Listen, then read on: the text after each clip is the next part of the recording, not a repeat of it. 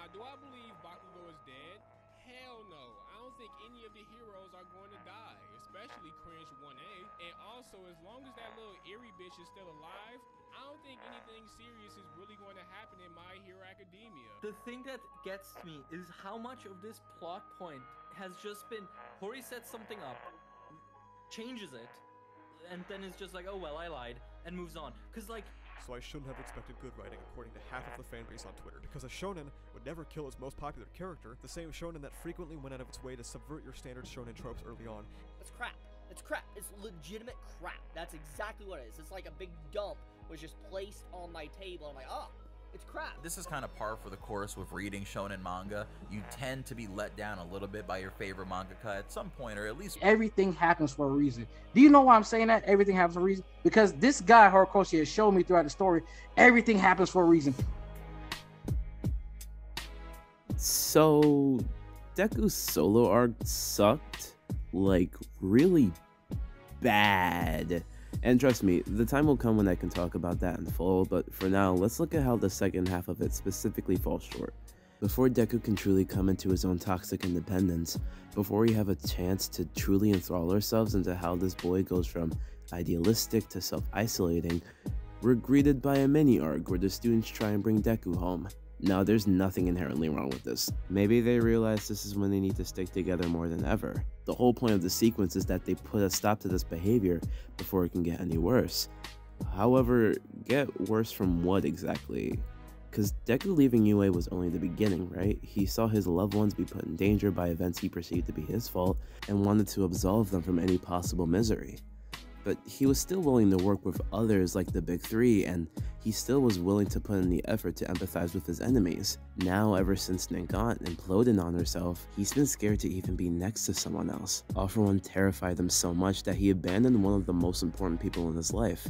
And when the story is about to visualize how far Deku is willing to go for the sake of other people, Kacchan arrives.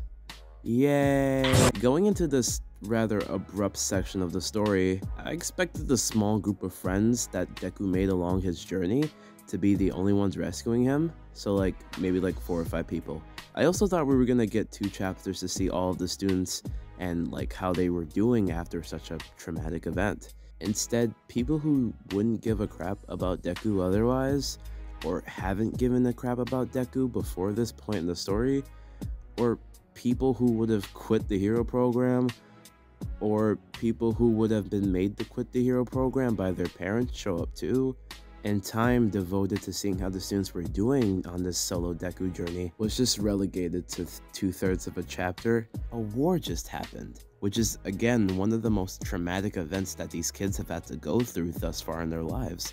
And despite all of that turmoil, we get no insight into how these kids feel about it. All we got was a page where they look sad. Just a reminder for the audience, um, some of these kids saw the corpse of their dead teacher, but the series doesn't want to talk about it. I mean, okay, that's not true. I, I know Mina must at least be particularly grief-ridden, right? Midoriya, I can't stand the thought of losing anyone else, Kate. So won't you stick with us? We've got classes to attend and stuff. Oh. That's not good. Are we gonna get any reflection or introspection from these kids? Any insight as to how these kids feel about current society? Any self deprecation because maybe they feel as though the thousands of lives that died during the war was somehow related to their failure? Is anyone at least gonna relegate all of that to just a joke or something? We have to talk about the farewell chapter, which is just the worst thing ever. Or, I mean, third worst thing, because uh, of things we'll get to. As stated before, instead of taking the opportunity to delve into these characters a bit more than we ever could have before, you think the war never happened. No one can talk about One for All because Deku needs to sleep, even though he's okay with staying up. No one can talk about the war because, I don't know, they just don't. I guess homework was more important. Ha ha ha ha ha, screw you, Mina. And no one can reflect on the possible anguish that Deku felt during his adventure. Everything that has happened for the past 40 or so chapters, it's just completely swept under the rug, man. Remember how I just said I would have preferred if they had just at least treated everything like a gag? I take that back because the Deku and All Might reunion is just it's just so bad. Instead of resolving Deku and All Might's departure in like a good way that makes sense, it's resolved in two pages. I kind of feel bad for Toshi. I mean, no one even cares about him, and no one has in hundreds of chapters. It's so funny, like, Mina wants an apology from him? Why? He doesn't need to apologize for anything. It's like, alright, if we're going that route, I want you to apologize for existing. This entire sequence hinges on your affection for these characters, like Ida, Bakugo, and Ochako. It's all been really, really corny, but the least you can do is follow up on it, right? Deku hasn't accepted Bakugo's apology in a meaningful way. The story has yet to acknowledge Ida at all. And instead of checking on the love of her life, Ochako just goes, nah, y'all got it, and goes to sleep. Because we all know romantic chemistry is when you just let your crush have a mental breakdown and choose not to see whether he's okay or not. It's a good thing they're gonna wake up in the middle of the night to have a talk. You know, Class 1A wasn't always, um, how should I say this? Insufferable. Looking back, not only were they all distinct in their values, but they were always sectioned into levels of importance. Not everyone wanted to save Bakugo, for example, and on a narrative level that works. Most people just didn't want to get in trouble, some people thought they would just get in the way of the pros, and there were other perspectives that this story doesn't even touch on, it's that diverse. But on a meta level, it works too. Kamino wasn't the only time this happened, of course. Look at Stain, Overhaul, the Endeavor Agency, for example. But this arc was a big example of Hori prioritizing those who were actually important to the plot and those who weren't. Sorry, Ochako. The point is, these characters felt not only unique and distinctive, but also not overbearing. Culture Festival was proof of this. At worst, these kids were forgettable and just amounted to contributing towards unfunny gags, but at best, they were a delightful group of kids sharing a passion. I think there's a major shift after PLW, where now they are all as equally important to each other. You want even more Kirishima? Do you want more closure on Ida's path towards valuing the collateral? Do you want Shoto to do literally anything? Well, we won't have time for that because now they'll have to share the screen with each other. But MHA has always been about quote unquote extras forming an altruistic collective together. So it makes sense in theory that they'd be so unified. But just because it makes sense thematically doesn't make it good. So keeping that in mind, why does Deku immediately forgive Aoyama? Didn't he just learn that it's okay to be selfish with his own feelings? He should be pissed! For so many reasons, the main one being this guy almost led to the death of his idol! Horikoshi simply just forgot that while Deku is really, really sensitive to the emotions of the people he's with or he's fighting, he's not ignorant to the pain that they will inflict or might cause to him or the people he loves. I wish the main character's once admirable trait being degraded into this was the worst thing about this arc, but it's not! If it was just Deku and the story treated him like he was crazy, I would be fine with it. But the story doesn't do that. Everyone immediately agrees with him. What was once a group of kids with differing ideologies is now a one-minded ecosystem of people who instantly forgive the guy who assisted a domestic terrorist. I don't think Aoyama is evil.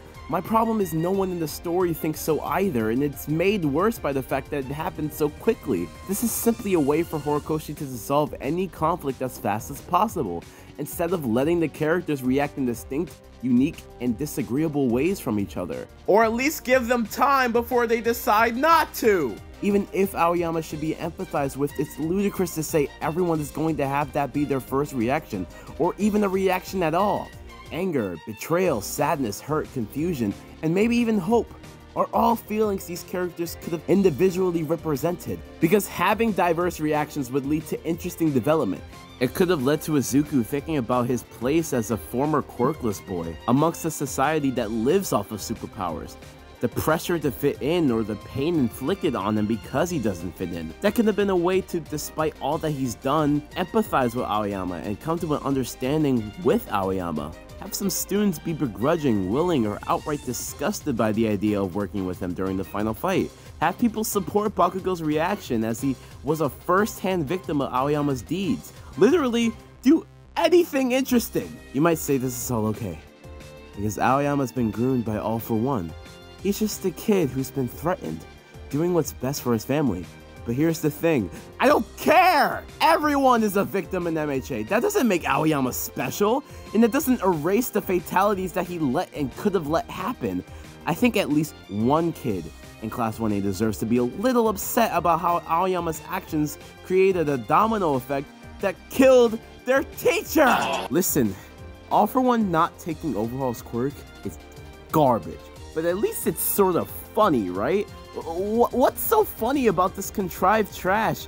After so long of waiting for these characters to be good again, for Hori to develop this cast past the surface level after such a devastating arc like a war, and such a devastating arc like Villain Hunt, Double Entendre, he chooses the easiest way out. This is the worst plot point in the entire series!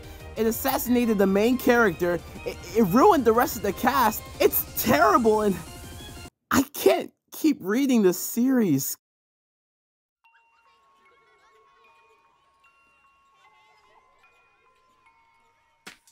I think it was after this point that I decided this manga isn't for me.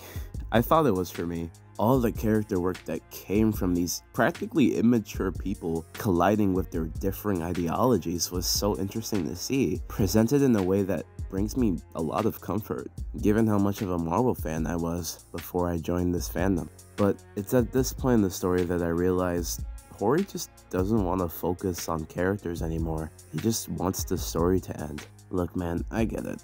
Horikoshi's tired. I probably would be too if I worked in the manga industry, but as a consumer, I can't help but feel disappointed that a story that I was not only invested in, but in love with has turned out this way. Made worse by the fact that I know at some point this was a story that Horikoshi really wanted to tell whether it be the main villain being a reference to one of his first works, or Deku mirroring him in the fact that he was so close to giving up on his dream.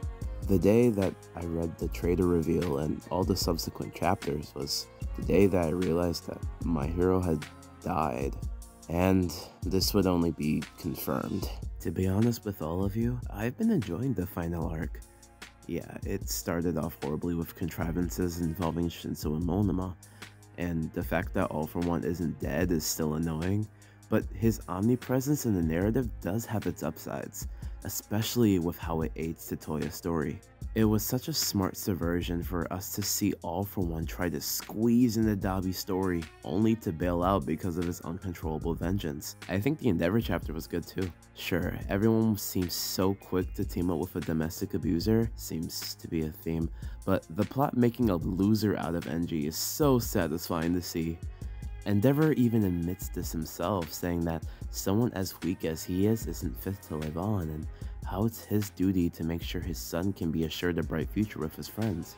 The character focus I've missed from MHA seemed to be slowly coming back, and while not being something that could change my perspective on the last 50 or so chapters, I was still having a blast despite its issues. I was also looking forward to the fights that were being set up, including Mina's. Yes, that Mina. All of this excitement and joy built up to a climax, and that climax was the death of Bakugo.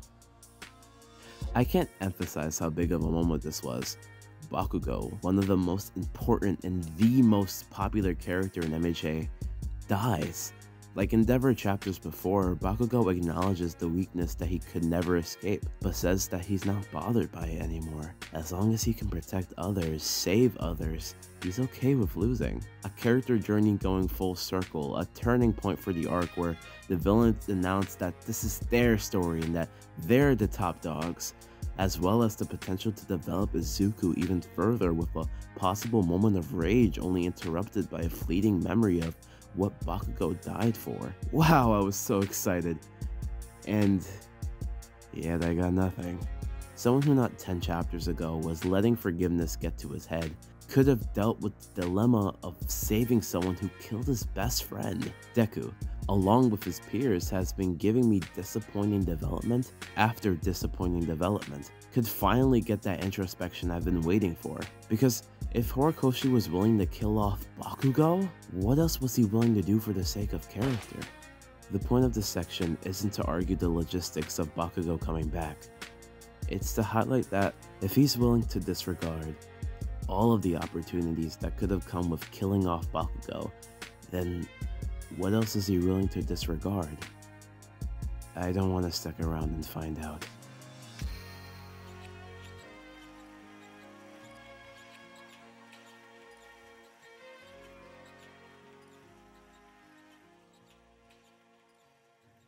But the video doesn't end there, does it?